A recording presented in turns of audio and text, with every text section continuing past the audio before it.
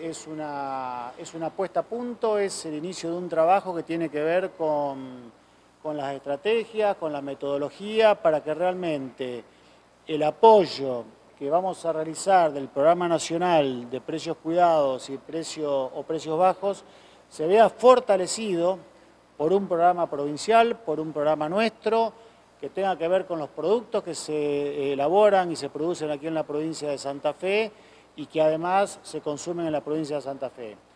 Un programa delegado y descentralizado donde vamos a involucrar a los municipios, donde vamos, a involucrar o a comprometer a, todas aquellas instituciones que tengan que ver con estas, con estos, con estas empresas.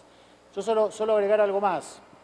Estos programas tienen éxito cuando llegan al consumidor, cuando realmente el consumidor los tiene bien identificados, bien claros en la góndola, cuando sabe cuando muy bien cuál es el precio que va a pagar.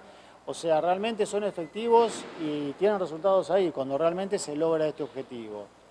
Hay una decisión del gobernador de que el programa de precios cuidados nacional tenga el mayor alcance territorial en la provincia de Santa Fe. O sea, vamos a hacer propio el programa nacional. Para eso ya estamos coordinando con la Secretaría de Comercio Interior de la Nación y apenas se conozcan los productos y los precios de aquellos productos, de aquellos artículos que se van a incorporar en el programa nacional, vamos a eh, armar el listado provincial. Por eso la reunión de ayer y por eso la reunión de hoy, convocar a los actores, al que le ve la cara al consumidor.